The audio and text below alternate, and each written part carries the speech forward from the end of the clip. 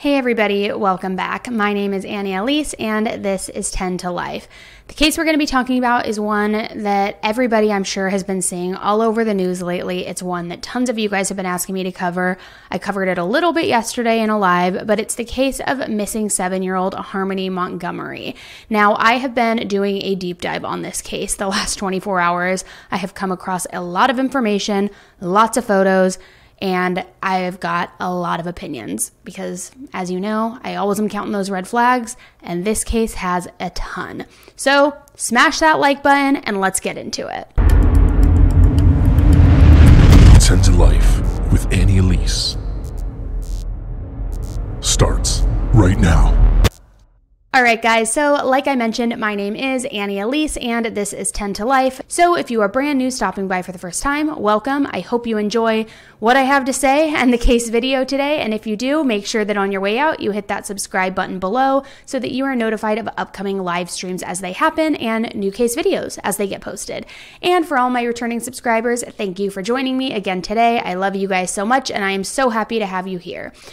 I'm going to just like do this video and then post it right away. I know I don't want to be a broken record. I keep telling you guys, YouTube is just flagging me, flagging me, flagging me. In fact, one of the videos that I posted today was flagged for literally 12 days and I had to argue with them to finally get it approved. So we'll see how this one goes. I'm going to try to do my best to not use the words that they don't like and we'll see what happens. So let me just start from the beginning here, guys. And I'm going to do a quick, brief recap of the case and what we know because as we've been kind of talking, it's been a lot of piecemeal information And so I really wanted to do a video where we have it all in one place and what brings us current with updates that literally just came out moments ago in this case. So, Harmony Montgomery is a seven year old little girl out of Manchester, New Hampshire. She is the daughter of a woman named Crystal and a man named Adam, and she is described as blonde haired, about four feet tall, and weighing 50 pounds. She also is legally blind in her right eye, so she wears glasses. Just the cutest little girl out there. I mean, this little face, I just can't. She's so extremely cute. Now, the details surrounding Harmony's disappearance are very confusing and very unsettling as well. Probably equally confusing and unsettling, if I'm being honest.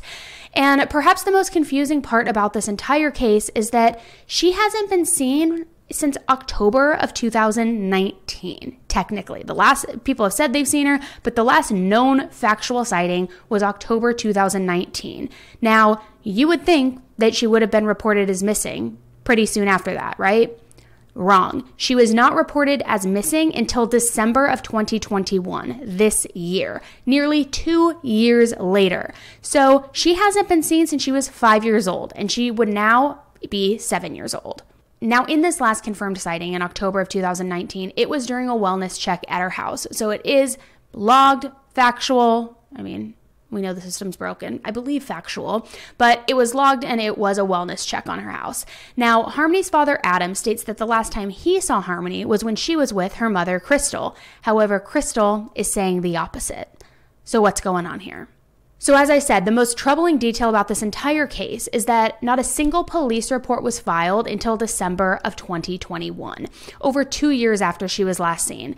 And unfortunately, Harmony was in and out of foster care multiple times prior to her disappearance, and this was due to her mother's alleged drug use. Now, Crystal has since reportedly gotten sober and clean as had, and has made numerous attempts to reunite with Harmony. I don't know if that's verified. That is what she's saying. That's what people close to her are saying. But I think if she has gotten sober, huge pat on the back. That is no easy feat. And congratulations in that regard. Does that excuse you from everything that we're about to talk about? Not quite, but it is still a milestone nonetheless. Now, what kicked this entire search for Harmony into gear was an email that the mayor in Manchester actually received in December of 2021. He then forwarded this email to the Manchester Police Department, and this launched the full on investigation into the whereabouts of Harmony Montgomery. During the police press conference that was held on December 31st, it was stated that the email was primarily regarding issues with follow up from the DCF agency. Don't get me started on them, guys.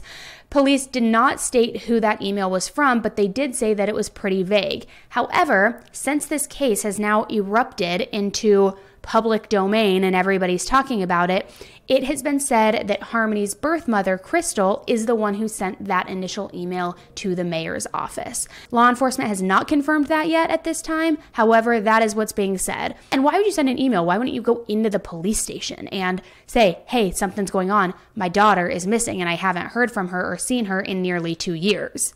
Now, allegedly, Crystal had reached out via this email because she was trying to get in contact with Adam and Harmony for months at the request of Harmony's biological brother's adopted father, Blair Miller. Sorry, sorry, guys, I know that's a lot. That's a mouthful.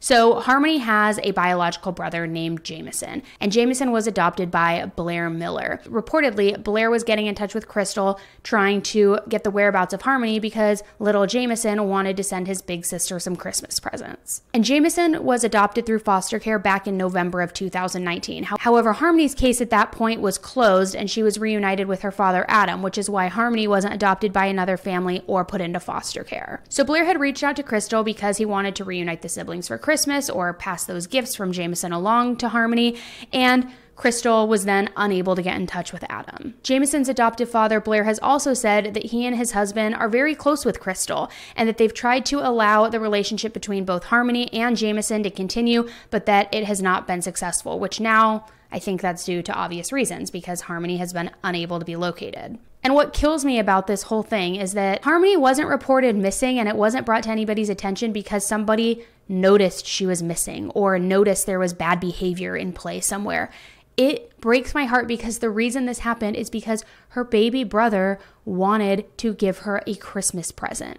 I mean, that is just heartbreaking because then how do you go back to that little boy and say, I know you wanted to give this Christmas gift to your sister, but I'm so sorry, we can't find her. Now, no one has seen pictures of Harmony since she was just five years old, and Adam, Harmony's father, was granted custody of Harmony back in early spring of 2019 by DCYF. And allegedly, Crystal had not had custody of Harmony since back in July of 2018. So she had gone at that point, what is that, maybe about nine months in the foster care system before being able to be reunited with her father Adam when he was awarded full custody. So Adam is awarded custody in early spring of 2019 and Crystal says that that was actually the last time she ever saw her daughter and that it was via FaceTime in April of 2019. Now, something that stuck out to me is Harmony has not been enrolled in school since 2019. And when she was enrolled, she was not enrolled in any school in New Hampshire. She was enrolled in the school in Massachusetts where her mother, Crystal, resided. But we know that Harmony at this point was in Adam's custody. Now, this leads me to believe that Adam never enrolled Harmony in any school upon receiving custody of her and didn't have plans to. And as if that isn't disturbing enough, the two parents that are in this case and intertwined with all of this, in further disturbing details, Harmony's great uncle, named Kevin, who happens to be Adam's uncle, of course, if you just you know, do the lineage there. He has now spoken out on what he knows about the situation. And Kevin, Adam's uncle, has said that the last time he saw Harmony was in October of 2019 at a house in Manchester where Harmony lived. Now, according to his uncle Kevin, there was an altercation that occurred on that day in October as well as previously in July of 2019, shortly after Adam had received custody of Harmony. Now, Kevin says he made a CPS call in July of 2019 after seeing Harmony with a black eye and hearing Adam admit that he bashed her around the house, stating that he had left Harmony in charge of watching her infant brother while he was in the bathroom.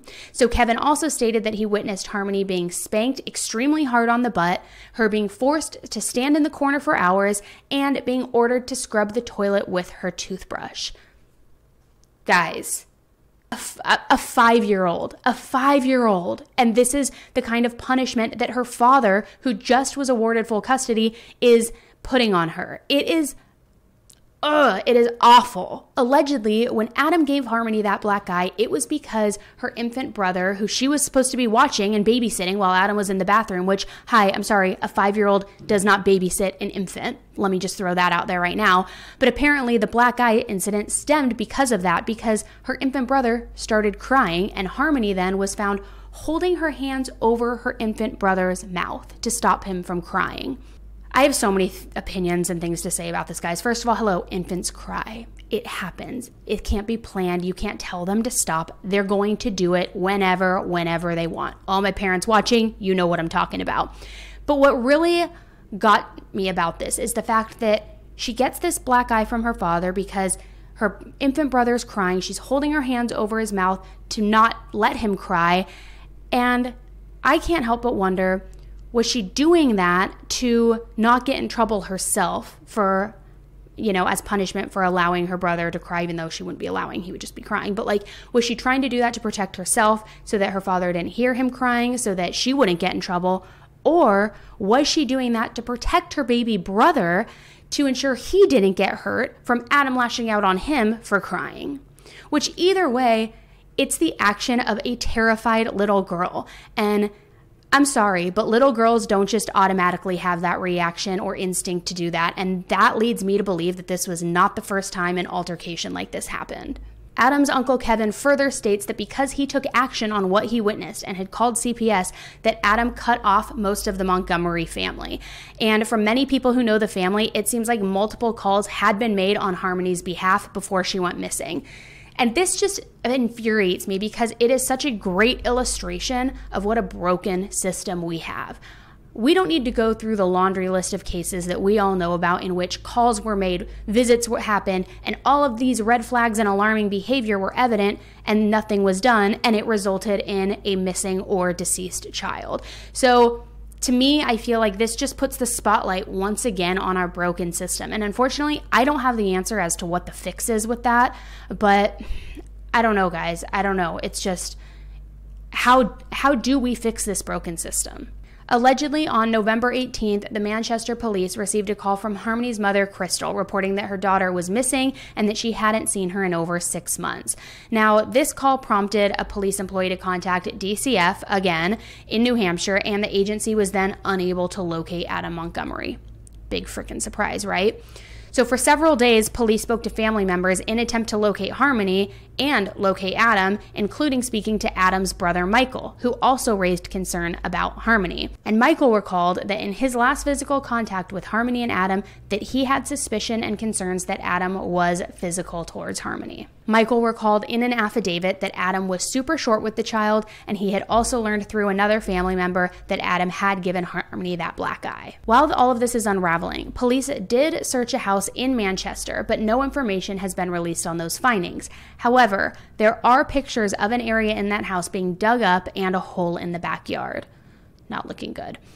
The house was sold in May of 2020 and belonged to Adam's grandmother, reportedly, but it's believed that Adam resided there, which is what prompted the search. When Adam was finally located by law enforcement on, I believe it was New Year's Eve of 2021, he was living homeless in a car with his new girlfriend, not his current wife, Kayla. Now, before we go into what happened in that conversation with law enforcement, let's just quickly talk about his current wife, Kayla. Kayla spoke with investigators also on New Year's Eve, and during that conversation, she said that the last time she physically saw Harmony was in November or December of 2019 before heading into work. At that time, Adam had allegedly had told her he was driving Harmony back to Crystal in Massachusetts. Kayla claimed she never saw or heard from Harmony after that day. Additionally, Kayla stated that she had not seen her husband, Adam, since October of 2021. Kayla did admit that she had seen Harmony with a black eye in the past, however, she explained that Adam told her it was caused by one of their children striking her with a toy in the face. So during that conversation with Adam, when they come across him in the car with his new girlfriend, on New Year's Eve, just, you know, a couple weeks ago, authorities say that Adam made contradictory statements, including that Harmony was fine and that he had seen her somewhere recently, before later admitting that he hasn't even seen his daughter since November 2019 when her mother came to pick her up. Which is weird because we also heard that he said he drove Harmony to her mother's. So, which is it?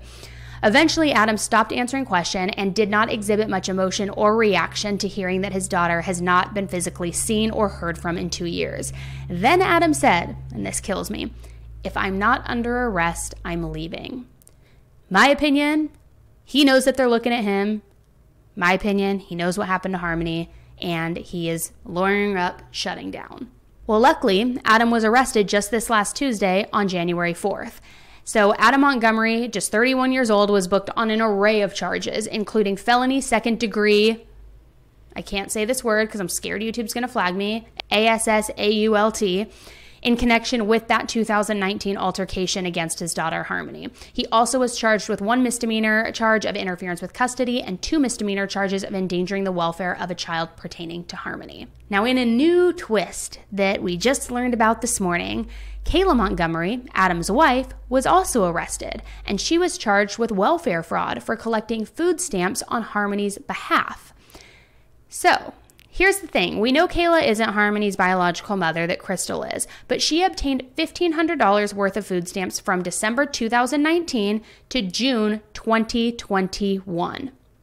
Remember, Kayla says she hadn't seen Harmony since back in November or December of 2019. So, why are you collecting food stamps for her, Kayla? So, this tells me two things. One, if she truly did believe that Harmony was with Crystal and that Adam had brought Harmony back to Crystal, she's a criminal and chose to continue fraudulently obtaining these food stamps in Harmony's name for her own selfish gain. Or, two, she knows exactly what happened to Harmony and still continued to collect food stamps in Harmony's name for her own selfish gain. Now, what's very interesting, though, that I discovered after reading Kayla's arrest affidavit is in this arrest affidavit, in part of a redetermination process for that collection, that took place back on January 7th of 2021, the DHHS worker noted in the file that Kayla seemed confused about whether or not Harmony lived there because she goes to her mom's house every other weekend, according to Kayla. But Kayla, you just said you haven't seen her since November or December of 2019. Now you see her every other weekend all the way through January of 2021? Which is it, girl? Tell us. Which one is it? This leads me to believe that Kayla knew exactly what happened to Harmony and she knew that Harmony was not coming back. I think that's why she lied about her being there every other weekend. And now, then, when the police were questioning her, she, I believe, did say the truth in the sense that she has not seen Harmony since November or December of 2019. Do I think it was truthful that she said it was because she was going back to Crystals? Probably not. But I do believe that that probably was the last time she saw her. My personal opinion on this arrest, because it is just on criminal fraud charges regarding the food stamps, I believe that this is a strategic move on law enforcement's part. I believe it's a move to get Kayla to talk. And we already know that she and Adam now are no longer together. He's moved on, even though they are technically married, I guess. I believe that she's going to flip on Adam. That's my truthfully that truthfully is my gut feeling in this whole thing. I think that she's going to flip on Adam and I think she's going to work out her own deal for immunity or a lesser sentence. Um, I think she has the answers. I think she has the information and I think that the reason they arrested her was to probably jolt her and scare her and hopefully get her talking. Kayla was arraigned today and was granted 5000 cash bail, and this infuriated everybody and it was very disappointing, but given the charges, it would be hard to deny her bail because everything else is unrelated and is just circumstantial at this point. However, in that order, she cannot have any contact with Adam, which hopefully they, you know, are monitoring and make sure that that happens because we can't allow them any time to get their story straight with each other. I'm hopeful that there's going to be a flip that happens here. The reward for missing seven year old Harmony is now at $60,000, and police and FBI are all searching for her. They are not giving up hope that this will be a rescue rather than a recovery,